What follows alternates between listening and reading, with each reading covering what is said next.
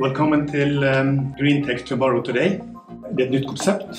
Og her setter vi søkelyset på morgendagens løsninger og konsekvenser som det får for business i dag. Dette frokostmøtet er et samarbeid mellom Smart Energy Network og Selmer, advokatfirmaet Selmer. De er kanskje ledende i Norge på den type kompetanse som har med EUs klassifiseringskrav til grønne investeringer. Alle som er opptatt av bærekraftige investeringer, er nødt til å kjenne til eh, disse klassifiseringsreglene. Eh, og det er det dagens frokostmøte dreier seg om. Så da gir jeg ordet til eh, partner i advokatfirmaet Selmer, Liv Monica Stubholt. Vær så god. Tusen takk skal du ha, eh, Ragnvald, og takk eh, for din innsats for å holde Smart Energy Network relevant og viktig. Det er en glede å invitere til presentasjon av det som er noe av EUs løsninger på det store spørsmålet. Hvordan håndterer vi egentlig bærekraftsforventningene? Og hvordan måler vi? Og hvordan setter vi en parameter som kan dokumentere fremgang og positiv utvikling i riktig retning? Kjære publikum, det er notorisk vanskelig å tjene penger. Og det er ofte slik at det er mange drivere i business som trekker i forskjellig retning. Man vil gjerne ha en god margin, samtidig vil man betale sine leverandører og sine ansatte godt nok til at de gjerne vil jobbe med deg videre. Men i dag har vi en veldig interessant sammenfall av kommersielle drivere. Og det finner vi under overskriften bærekraft. Vi ser at forventningene fra markedet til at selskaper skal opptre anstendig, med respekt for omgivelsene, for miljøet og tåleevnen i omgivelsene, sammenfaller med forventninger fra lovgiver og med interessen i å skape en god bunnlinje. Og Det sammenfallet av interesser det er en veldig interessant kommersiell kraft. Og det er en viktig måte å sikre at næringslivet spiller på lag med alle sine interessenter. Marked, kunder, leverandører og eh, eh, næringslivets premissleverandører i lovgiver og eh, i myndighetene, hos myndighetene for øvrig. Så jeg har lyst til å innlede den presentasjonen dere i dag skal få av EUs eh, regelverk og parametere for å måle bærekraft på følgende måte. Vi ser at ressursene i verden er begrenset. Så ressurseffektivitet viser seg å være en rød tråd i hvordan man skal lykkes fremover. Og Her ser man dette sammenfallet med de kommersielle og de samfunnsmessige interessene. Er det begrenset ressurser, så må man være ressurseffektiv. Er det slik at man lykkes med å redusere bruk av innsatsfaktorer, så vil man også lykkes med å få bedre, et bedre omdømme og en aksept for hvordan den bedriften utvikler seg. Derfor så ser vi at bærekraftsmålene som FN har satt, også inkluderer bærekraftsmål nummer tolv, som snakker om den ressurseffektive bruk og produksjon. Og her har vi en rød tråd. La meg eh, avrunde med å vise til eh, bruken og belastningen på verdens vannressurser. Dette er tall som vil gjøre enhver tørst. I realiteten er det bare 3% av verdens vann som er tilgjengelig for, som drikkevann. Og av det, mine damer og herrer, er 2,5% bundet opp i ismassene i Arktis, Antarktis og isbreer. Hva har vi igjen? 0,5% av verdens totale vannressurser kan vi drikke. Derfor er det ikke tilfeldig at Norges Bank, som er ledende i bærekraftsforventninger til sine porteføljeselskaper, nettopp har satt Water Management med et eget tema i sitt forventningsdokument.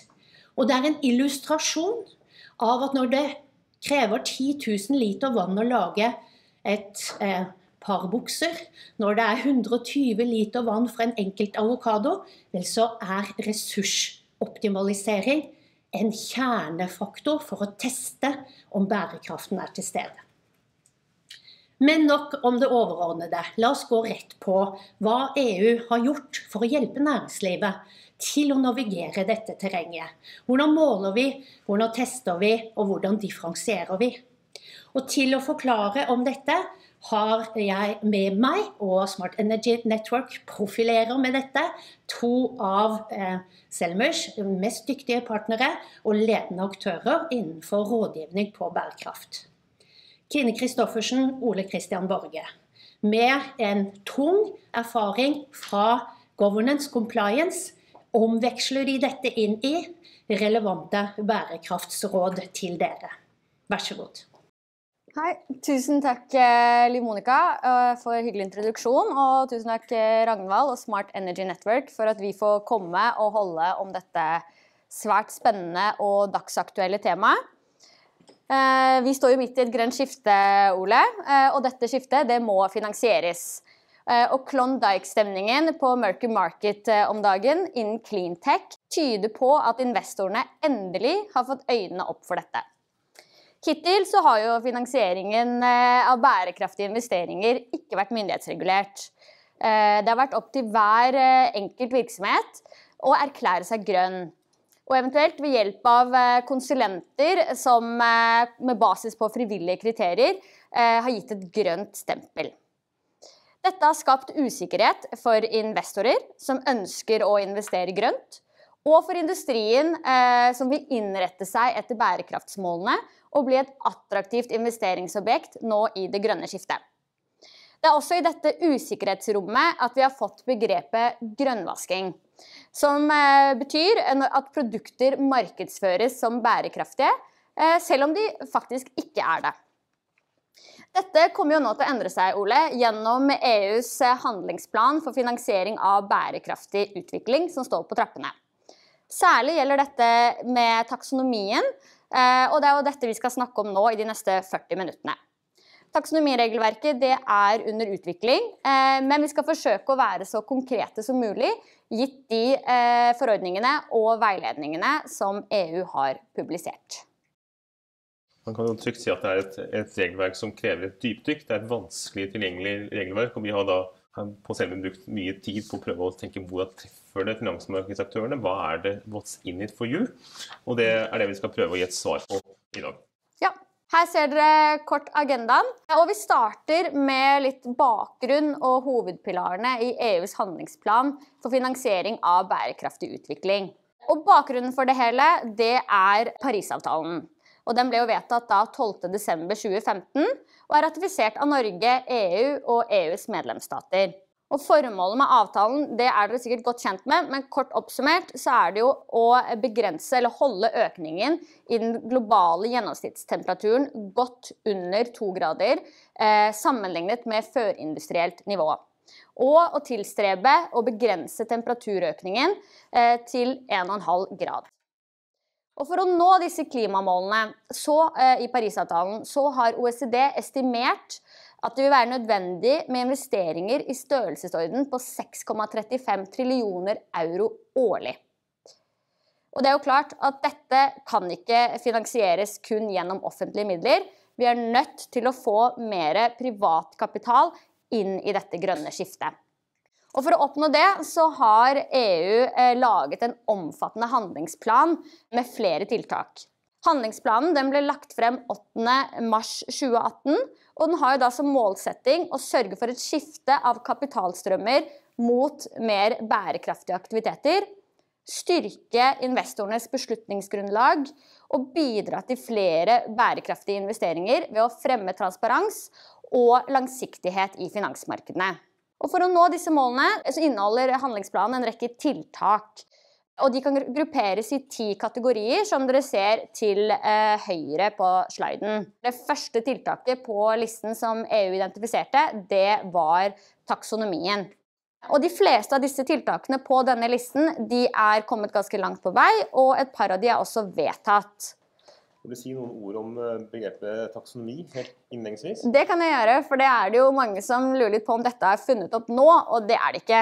Taksonomi det er jo et vitenskapelig begrep som um, har vært brukt, brukt innen vitenskapen lenge, og det betyr rett og slett klassifisering.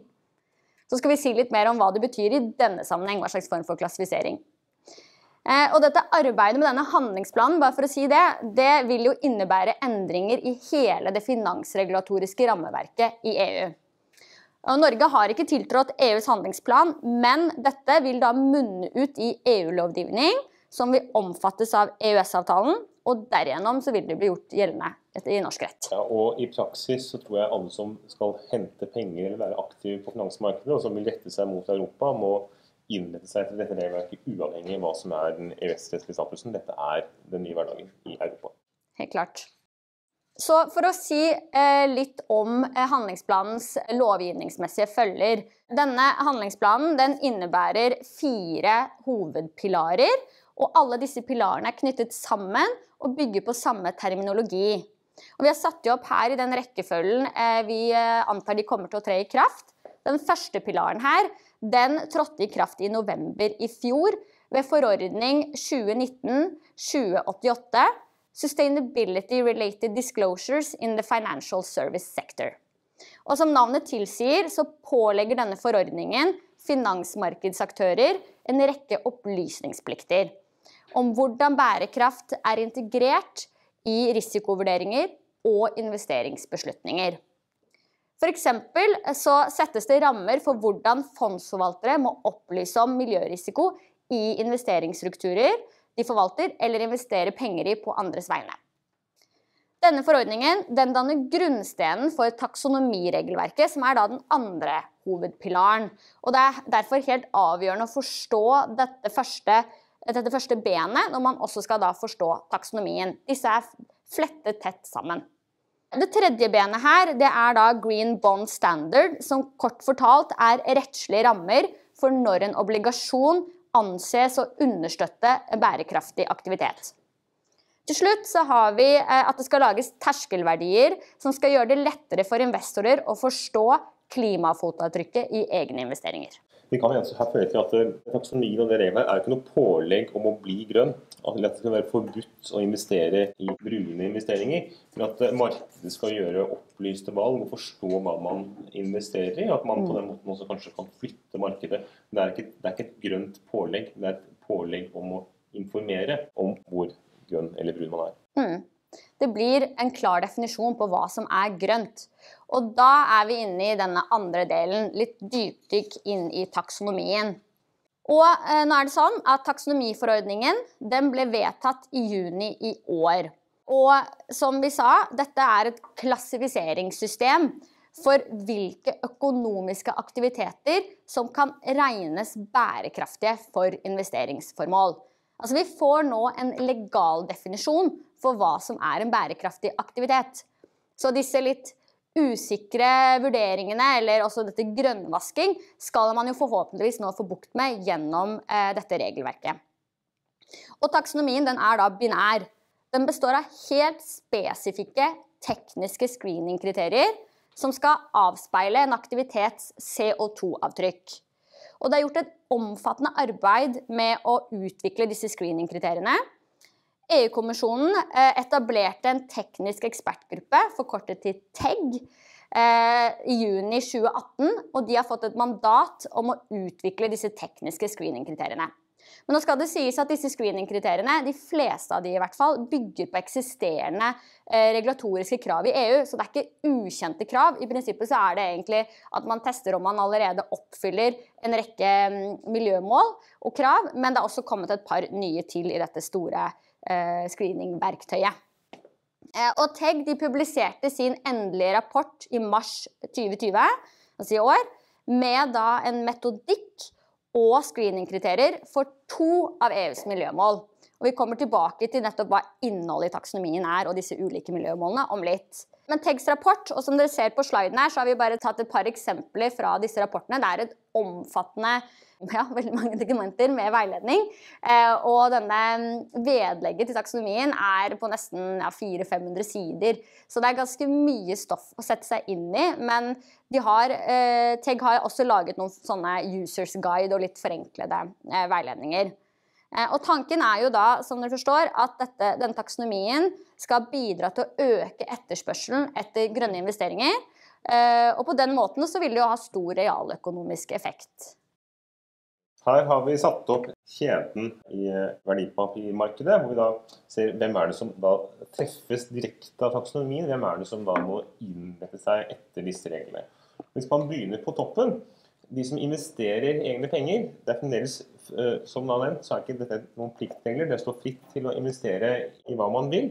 Man trenger ikke innrette seg etter en taksonomi med egne penger, men man vil jo regne med at man ser et økende grønt fokus, rett det du sa om hva slags selskaper som nå går unna på Merkur Market. Men de som derimot er et pliktsubjekt etter taksonomien, det er de som da i den teksten kalles finansmarkedsaktører, men det er i realiteten kapitalforvaltere. De som forvalter andres penger. Typisk verdipapirfond og pensjonskasser.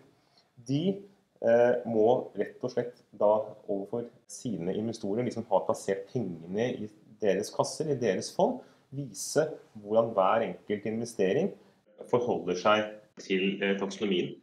Eh, kapitalforvalterne vil jo da normalt kjøpe og selge aksjer og obligasjoner gjennom verdipapirforetak.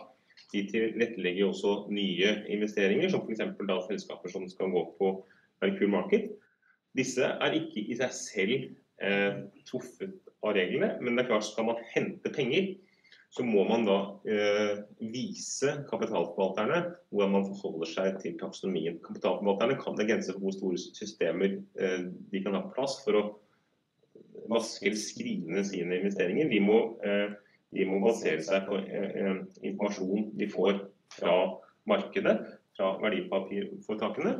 Så Det er grunn til å tro at her vil det bli en endring. Skal man hente penger going forward, så må man som foretak da eh, med hjelp av gjennom verdipapirforetakene, gjennom de man bruker for å hente penger, Eh, opplyse om hvordan man forholder seg til taksonomien. Og Det er jo nede på industrien, som, det, da, som et verdipapirforetaksståsted er utstedere. Der er det slik at hvis man er et såkalt stort foretak, børsnotert med mer enn 500 ansatte, så må man going forward rapportere og opplyse om hvordan egen virksomhet forholder seg til eh, hvert enkelt virksomhetsområde forholder seg til taksonomien. Og andre utstedere, andre foretak, som da ikke direkte omfattes av regelverket, vil altså, antar vi, måtte selvdeklarere seg på et vis, enten selv eller ved hjelp av eksterne aktører som vil tilby den type tjenester, for at det skal være mulig å hente penger i verdipapirmarkedet. En ting, her ser man det. Hvis man da ser på disse såkalte finansmarkedsaktørene, altså kapitalforvalterne, så vil det være slik at hvis man har bærekraft som formål, eh, eller man markedsfører seg som eh, ut fra miljømessige eller samfunnsmessige hensyn, så må det da tas utgangspunkt i taksonomiens krav. Det er det som da vil være benchmarken. Og for andre produkter så gjelder comply or explain. Det er igjen lov å investere brunt, men da må man, eller ikke grønt, men da må det opplyses om på hver enkelt investering.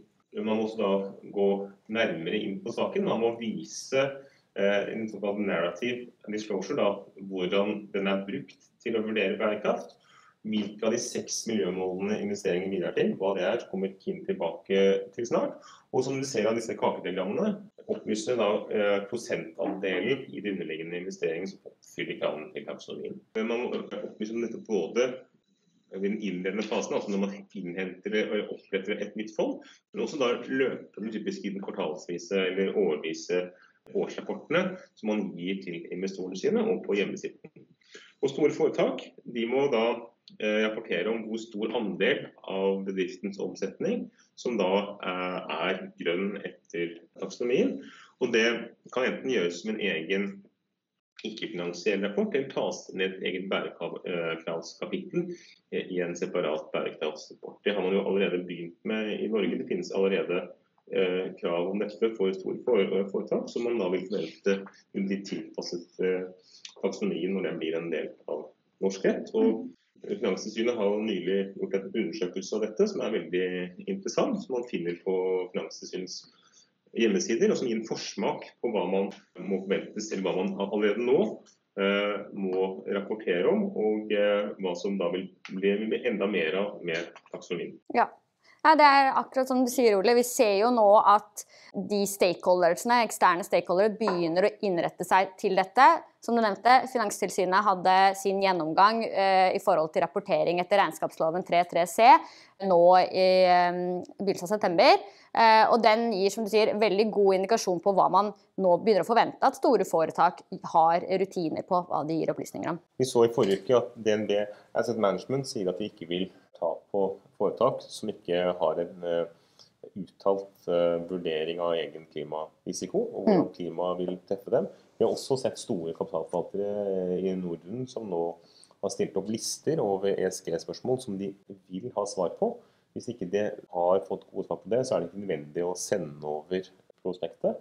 Vi har også hørt at Finanstilsynet har sendt prospekter til foretak som skal på børs, i retur, fordi Finanstilsynet mener at ESG-risikoen, ESG-spørsmålene ikke er kvittert ut mm. ordentligvis. Ja. Så dette kommer, dette er eh, i full fart inn, uavhengig ja. av den formelle innfasingen uh, av taksonomiregelverket. Yes. Og da litt kort om det. Når trer disse pliktene i kraft? Og taksonomien Nå er jo EU da i ferd med å utarbeide rettsakter for de to første miljømålene. Og de øvrige miljømålene de vil utpensles eh, i løpet av årene, altså neste år. Eller og vil tre i kraft i 2023. Disse miljømålene de skal være ferdige i løpet av høsten. Og deretter så får finansmarkedsaktører en opplysningsplikt for eh, aktiviteter under de miljømålene. Det vil gjelde allerede fra 1.1.2022. Så det vil gå ganske raskt fra dette egentlig screeningkriteriene er utpenslet til eh, finansmarkedsaktører skal opplyse om hvordan deres eh, investeringer, som da kan eh, klassifiseres under de to første miljømålene, om det man har da oppfylt taksonomien eller ikke. Men som Ole sa, i alle tilfeller så må man opplyse. Eh, når det gjelder de store foretakene, så de, får de litt lengre tid på å innrette seg på det de skal rapportere om. Eh, når det gjelder aktiviteter for 2021 eh, og tilbake i tid, så står det i TEG, altså disse tekniske ekspertgruppens rapport, at man forventer at rapporteringspliktene vil tre i kraft i løpet av 2022. Så det er ikke helt klart, det er ikke liksom noe fastsatt dato på de ennå.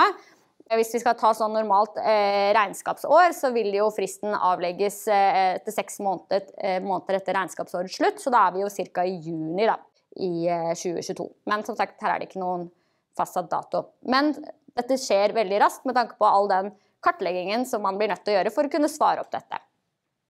Og da skal vi nettopp dykke litt mer i det. Eh, når er en virksomhet grønn i henhold til taksonomien? Og Taksonomien oppstiller tre hovedkrav for at en aktivitet skal kunne klassifiseres som bærekraftig og kvalifisere for investering under taksonomien. For det første så må aktiviteten gi et vesentlig bidrag til oppfyllelsen av minst ett av EUs seks miljømål. Og de miljømålene er begrensning av eh, klimaendringer, klimatilpasning, det er knyttet til vann, det er knyttet til eh, sirkulærøkonomi, biologisk mangfold og forebygging eh, og kontroll av forurensning. Eh, og som nevnt nå et par ganger, så er det kun to av disse miljømålene som er utpenslet i dag. Og det er de eh, to dere ser uthevet her. Begrensning av klimaendringer og klimatilpasning. Og det er rett og slett fordi TEG har måttet gjøre prioriteringer. De har ikke hatt tid til å gjøre ferdig alt, og det er viktig at vi får dette implementert eh, fortløpende. Eh, så eh, de har da valgt de miljømålene som vil ha størst effekt på CO2-utslipp. Og som nevnt, Kriteriene for de øvrige eh, miljømålene de vil utarbeides i løpet av neste år og tre i kraft i 2023. Og merk nå at det er aktiviteten som er gjenstand for vurdering, ikke et selskap som sådan. Og vi har jo sett at enkelte selskaper har skilt ut det grønne aktiviteten. Eh, og nå tror jeg kanskje ikke de har gjort det kun for å forberede seg på taksonomien. Det er ganske mange andre gode økonomiske grunner til at man velger å gjøre det. Men det passer også veldig godt i forhold til hvordan man skal tenke når man skal klassifisere. Man må se på de enkelte aktivitetene man driver med, eh, for å så se om de kan være taxonomy aligned. Og så er det et, det andre hovedkravet under taksonomien. Og det er at aktiviteten må ikke gjøre betydelig skade på de andre miljømålene. Det såkalte 'do no significant harm'-prinsippet. Og grunnen til at TEG har tatt med dette, det er jo selvfølgelig at når man skal sikre taksonomien, så kan, ikke, kan ikke det undergrave noen av de andre miljømålene i EU. Man må se på helheten eh, og, vil, og, bidra til eh, forbedringer generelt. Og det skal ikke gjøres på bekostning av de andre miljømålene. Så dette viser jo at det er jo en ganske mye bredere vurdering man må gjøre enn det man kanskje gjør i dag, når man kun ser på hva er det vi bidrar til, og ikke nødvendigvis alt det andre som kanskje man skader gjennom aktiviteten. Den tredje hovedkravet er at aktiviteten må oppfylle minimumskrav til sosiale forhold og styring. Med dette kravet så sier jo egentlig EU at du kan ikke være bærekraftig eller grønn uten at du også overholder grunnleggende menneskerettigheter. Dermed så innføres en helhetlig bærekraftstilnærming. Eh, og standardene som fremheves av TEG, det er jo FNs, eh, altså UN Guiding Principles, det er OECD sine retningslinjer, og det er ILO-konvensjonene. Og Kjernen i disse kravene som fremgår av disse internasjonale retningslinjene og prinsippene, er jo en aktsomhetsvurdering, eh, eller en human rights due diligence. Og det er det jo mange som gjør allerede i dag, men nå blir det jo da satt i et helhetlig system eh, i denne taksonomien. Eh, og aktsomhetsvurderinger de omfatter eh, en vurdering av negativ påvirkning på menneskerettigheter som selskapet kan forårsake eller medvirke til gjennom sin virksomhet. Så her må man ikke bare, Det er ikke bare fokus på miljø, det er også fokus på det menneskerettslige aspektet. Det kan da være eksempel undertrykkelse av fagforeninger, det kan være barnearbeid, det kan være et umidelig arbeidsmiljø osv. Ja. Og så er det jo sånn at det er ikke alle sektorer som har blitt fanget opp i taksonomien ennå. Eh, igjen så har TEG måttet gjøre prioriteringer for hvilke industriområder de har lagd kriterier for. Og disse eh, prioriteringene er da igjen basert på hvilke mm, industrier som har det største CO2-utslippet i dag. Og til sammen så står disse ni eh, sektorene som er dekket, av 93,5% av det totale klimagassutslippet. Uh, og Noen stiller kanskje spørsmål om hvorfor informasjon og kommunikasjon har blitt prioritert, og f.eks. ikke uh, fly. Uh, men denne sektoren den står for hele 8-10% av elektrisitetsforbruket i Europa. Så det er litt god forklaring bak den prioriteringen. Enorme databankene.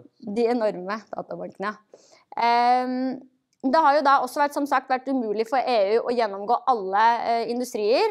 Men det kommer til å bli dekket gradvis. Og det er jo et par industrielle sektorer som er ganske sentrale for norsk industri, som ikke er dekket per nå. F.eks. fiskeri og havbruk eh, og eh, shipping. Men de kommer nok til å bli dekket etter hvert. Eh, og eh, Tilnærmingen til TEG har jo vært å identifisere kriterier hvor potensiell skade på miljømålene kan mitigeres. Og så har man da identifisert at det er jo enkelte industrier som det ikke kan oppnås. Eh, og da har TEG bevisst utelatt sektorer som aldri kan bli grønne eller bidra til lavere karbonutslipp. Eh, og der finner vi jo typisk da olje- og gassvirksomhet, eh, som aldri vil kunne bli klimanøytralt. Og utelatelsen, bare for å nevne det, når det gjelder olje og gass, denne utelatelsen gjelder også lagring og transport av olje og gass.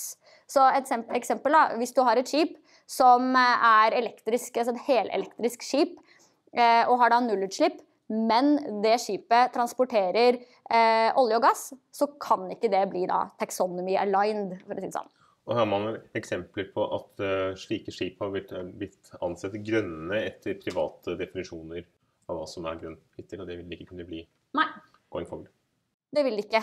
Og der får du den der grensen mot det sånn grønnvaskingsbegrepet. Eh, og så bare for å gi dere en liten feeling på hvordan TEGs screeningkriterieverktøy ser ut. Og dette her er bare hentet ut fra eh, sektoren landbruk og skogbruk. Og som dere ser, så er det svært detaljert. Det er et veldig omfattende Excel-ark med disse tekniske linjene. Og det man nå, hvis man ønsker å begynne å forberede seg på dette, det man i praksis bør gjøre, er å, å gå inn disse dokumentene, eventuelt få hjelp til å se på disse dokumentene. Hvilke aktiviteter er dere involvert i i dag, eller hvilke aktiviteter vurderer vi uh, å investere i eller um, å begynne med? Uh, og se om de aktivitetene har, er dekket. Og videre da hvilke krav stilles til de, sånn at man kan begynne å både planlegge investeringene og hvordan man skal innrette aktivitetene sine for å være det som da blir grønt fremover. Og så litt det vi var inne på, at det er ikke alle virksomheter som kan bli grønne.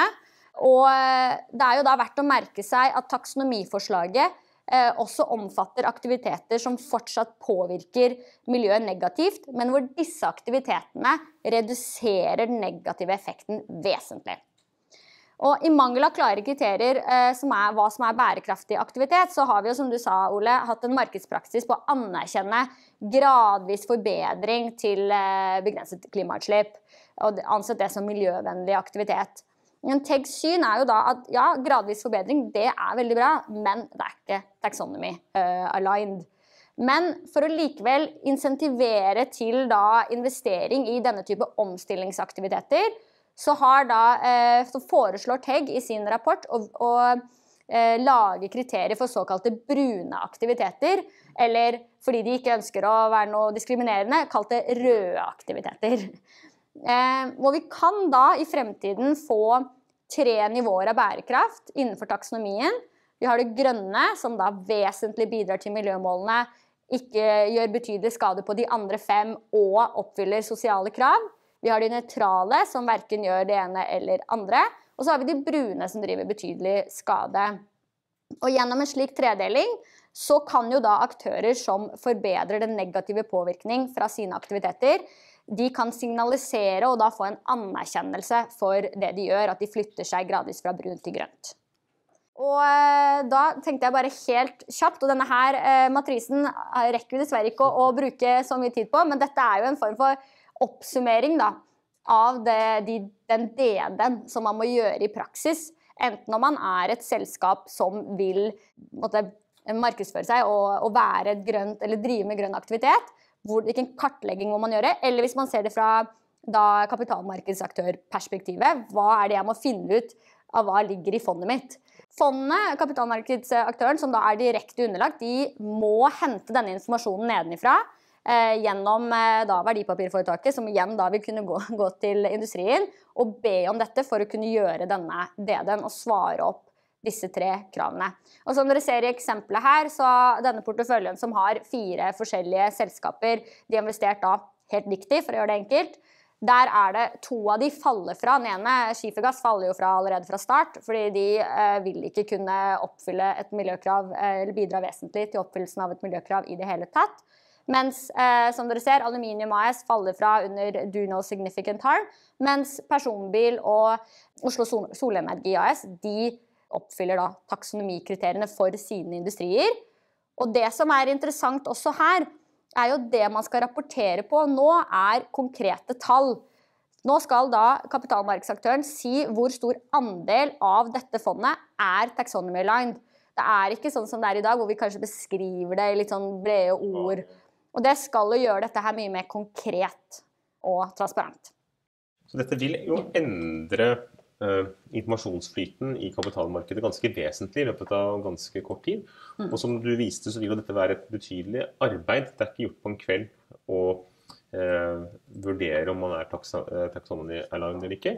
Uh, mange, det er klart, Hydro og Equinor kan kanskje ha egne avdelinger som jobber med dette og kan gjøre det selv, men mange aktører vil nok trenge bistand for å kunne navigere i dette regelverket. Først se hva er pliktene, og så også foreta de kvalitative og kvantitative vurderingene ja.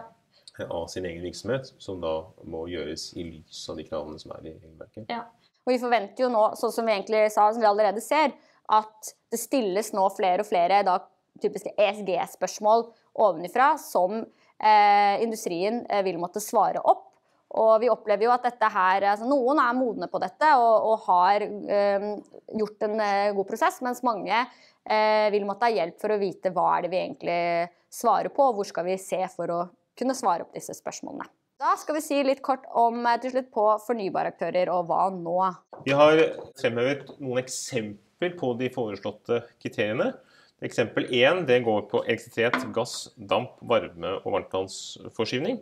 Der er jo målet åpenbart å begrense klimaendringer. Og der har man da, for å kunne være, for å gå klar av den første terskelen, eh, vil da gå ut på typisk på solenergi at man da må under 100 gram eh, CO2-ekvivalenter per kilowatt-time som produseres. Og dette her vil det være et løpende mål. Mot 50 så skal denne her ned til netto null. Og det betyr, og det er også slik at hvis man da starter et nytt prosjekt på Sol i dag som skal vare til over 2050, så må man også da ha en plan for hvordan man skal kunne nå det planet, eller det nivået 30 år fra nå. På bygninger så har man definert det på en ganske annen måte. Der, der sier man at det de 20 lavere enn hva som da ligger på såkalte near zero energy buildings.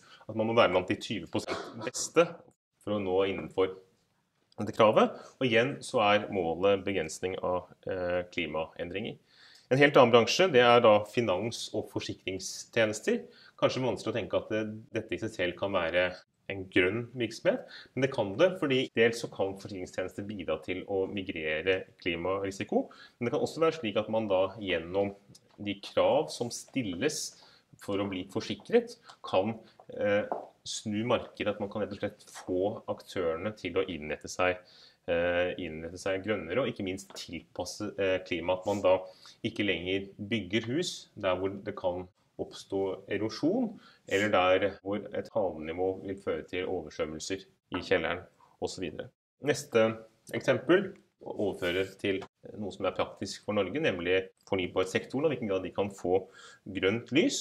Og her har vi sett på vannkraft. Der er, eh, som jeg nevnte på sol, er dette krav om eh, maksimal 100 gram eh, CO2-ekvivalenter eh, per kilowatt-time i en livsløpssyklus. Dette vil altså redefinere hva som er grønt. Og eh, dette kravet må da hele tiden holdes opp mot uh, dette do no significant harm. På vannkraft så vil man da typisk se på om det kan ha negativ innvirkning på biologisk uh, mangfold, fordi man typisk griper inn i økosystemer under vann. På vindkraft så vil en tilsvarende terskel være da typisk da støy, avfall under produksjonen, Eh, kollisjon med fugler, som har vært et eh, tema, ørner, eh, nedbryting av økosystemer, og ikke minst noe som har vært veldig praktisk i Norge, visuell forurensning. Mm. Og hvordan det vil lande, er vel ikke da helt klart. Tilsvarende på Sol så vil, det, vil da dette DNSH-kriteriet først og fremst gå på eh, lokasjon, altså negativ eh, påvirkning på biologisk mangfold, og materialene, altså hvordan man håndterer opprinnelse og avstandshåndtering. Det er jo en, et, stort, et, stort, inngrep, eller det er mye mange ressurser som skal inn i systemet for å bygge opp en solenergipark. På hydrogen det har vi satt et spørsmålstegn, og det er jo fordi man selvfølgelig vet at eh, hydrogen ikke er en energikilde i seg selv, men en energibærer. Mm. Og da må man jo se hen på energibæreren. Der eh, skiller man jo på eh, grønn, blå og brun hydrogen. Det er klart Hvis den er produsert på Eh, kull, eh, som, og at eh, CO2-en går rett i atmosfæren. Det kan aldri bli, bli grønt. Men man har da lagt opp til at hvis man lager systemer for CO2-fangst og -lagring, så kan det på sikt bli grønt. Men selvfølgelig så må man her se hen til utslipp på vannressursene og, av, og avfallshåndtering. Mm. Jeg vet ikke, Kina, om du har noe å tilføye på disse Nei, jeg syns du oppsummerte det veldig bra. Og så er det jo, som du sier, det er jo en del spørsmålstegn her fortsatt. Eh, og eh, det vil jo innebære ganske omfattende øvelser, men det er ingen vei utenom etter hvert. Det, dette kommer. Ja, så håper vi egentlig har fått frem det at det er eh, Forhåpentligvis vil det bidra til at dette bærekraftsbegrepet blir konkret, og at det da blir mer transparent, da, som er det EU ønsker, og da får enda flere investeringer inn og at det mm. alltid kommer på agendaen. Det tvinger ja. jo alle kapitalmarkedsaktører til alltid. Du slipper ikke unna det grønne spørsmålet. Nei. Det vil alltid komme der. Og det vil være nytt og vil åpenbart bidra til å endre markedet. Ja. Det var eh, det vi hadde tenkt å si om um, taksonomien. Takk skal dere ha. Um, vi har fått inn et uh, par spørsmål fra våre deltakere online. Og uh, Det første tror jeg kanskje jeg kan besvare selv. Det er så får vi tilsendt presentasjonen etterpå, og det kan jeg bekrefte at dere vil få. Ja. Det er eh, spørsmålet om hva slags ettersyn eh, vil EU og kanskje også norske myndigheter legge opp til i forhold til hvilke tall selskapet rapporterer. Altså, man kan jo stille seg spørsmål om skal dette revideres i forbindelse med årsregnskap, eller Ja, altså, nå er det Vi vet for så vidt ikke hva slags ettersyn vil bli, men, men det er i hvert fall eh, helt konkret i TEGs rapport nevnt at eh, i motsetning til Green Bond, hvor er en, hvor det skal verifiseres av en tredjepart, så er det ikke et krav om det i taksonomien. Det er en egenvurdering. Eh, og så får vi se da, om hvordan dette utvikler seg. Vi opplever jo, vi ser jo nå eh, både at eh, de, mange virksomheter ønsker hjelp til å vurdere det. Både fordi man, det gir en viss trygghet på at man har gjort jobben riktig, og, og, også kunne si at dette har vi på en måte testet med en, en tredjepart med spisskompetanse på det.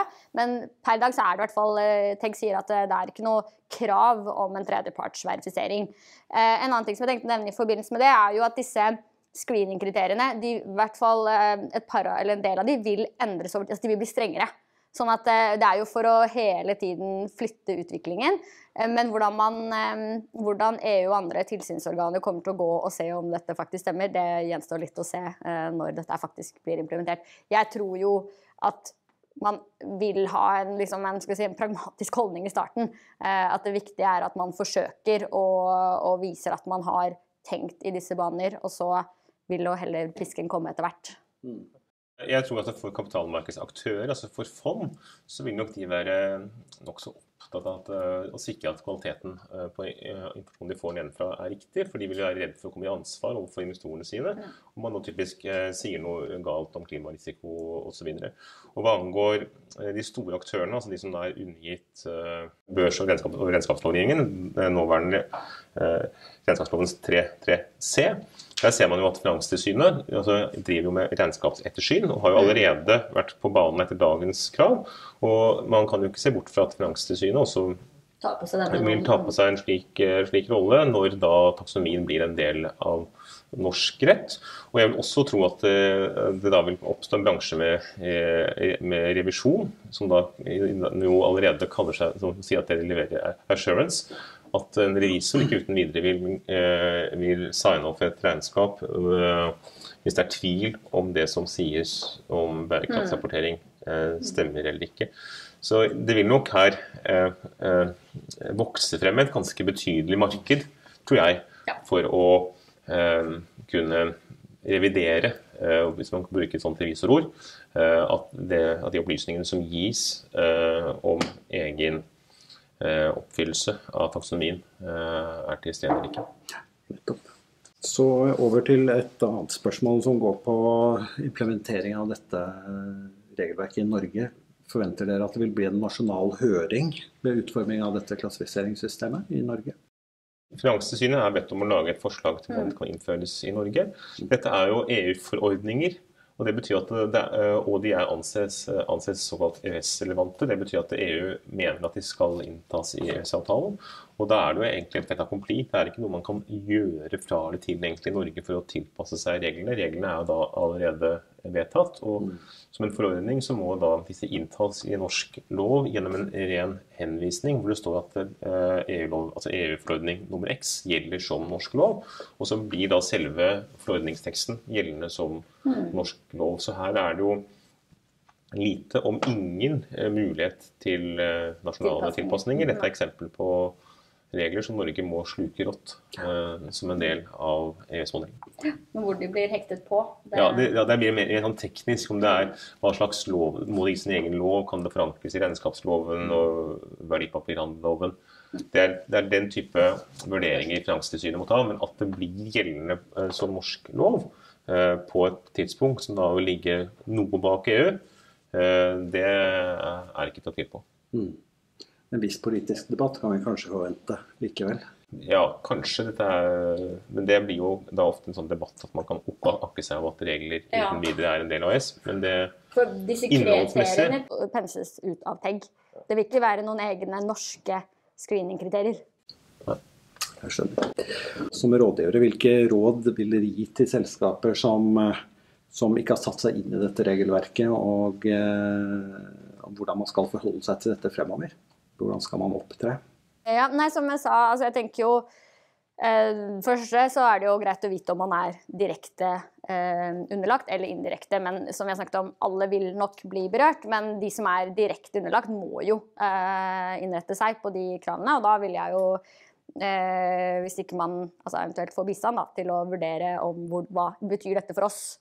Eh, og så, eh, som jeg sa, det er kanskje praktiske veien å gå er å enten, gjennom, enten selv eller da ved bistand få identifisert hvilke sektorer Altså er vi innenfor noe som, vil, som, er dekket? Altså i disse sektorene som er dekket? Og er det noen av våre aktiviteter som er dekket, eller der vi tenker å gå fremover som vil bli dekket? Det er jo en kartleggingsprosess. Og så er det nok åpenbart et godt råd hvis man skal hente penger i kapitalmarkedet, og begynne dette arbeidet nokså snart. fordi her endrer markedsforventningen seg veldig fort. Eh, markedet vet at dette kommer. Det er en større forventning om åpenhet, om eh, egen grønnhet, for å si det slik. Og at man eh, man bør starte et slikt arbeid. Om det da ikke formelt sett forankres i taksonomien med det første, så eh, bør man likevel da bruke tid og energi på å opplyse om hvordan, man, eh, hvordan egen virksomhet forholder seg til eh, gjeldende ESG-praksis. Og gitt at dette jo, som dere har forklart allerede, er et såpass tungt og vanskelig tilgjengelig regelverk, så antar jeg at dette er noe som vil være mat for både juridiske og tekniske rådgivere fremover. Ja, vi tror at det her er et eh, fall mindre aktører eh, kan ikke gjøre dette alene. Her trenger man kloke hoder til å eh, bistå seg. Mm. Ja, tusen takk skal dere ha. Da har ikke jeg fått flere spørsmål på chatten. Så sier jeg tusen takk til våre foredragsholdere i dag. Det har vært veldig spennende og interessant, og vi håper at det har vært det for dere som har deltatt online også. Og så takker vi også for dere som har deltatt på dette direktesendte webinaret fra advokatfirmaet Selmer i samarbeid med Smart Energy Network. Takk skal dere ha. Ha.